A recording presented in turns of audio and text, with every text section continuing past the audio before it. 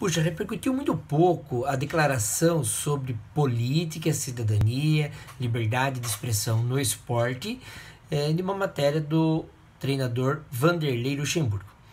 Então ele disse à Folha que, como pessoa importante que é, como jogadores de futebol de, dos grandes clubes são, não podem abrir mão do direito cidadão de falar de política.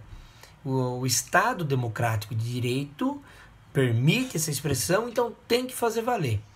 Ele foi questionado quanto a isso sobre a relação do Palmeiras com o treinador, com o presidente da República Jair Bolsonaro. Se isso era legal ou não, até porque o Vanderlei é petista. E o Vanderlei não fugiu da, da questão.